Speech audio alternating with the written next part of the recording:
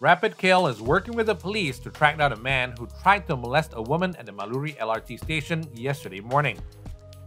A video of the incident, which went viral on social media, showed a man struggling with a woman on the floor of a train platform before a group of people rushed to her aid and pulled the man off her. In a statement, Rapid KL said the man, who appeared to be suffering from a mental health disorder, crossed from platform 1 to platform 2 and attempted to molest a woman who was waiting for a train there. Rapid KL said auxiliary police on the opposite platform rushed to where the woman was struggling with the suspect, but by then, they had succeeded in prying the man away from the woman.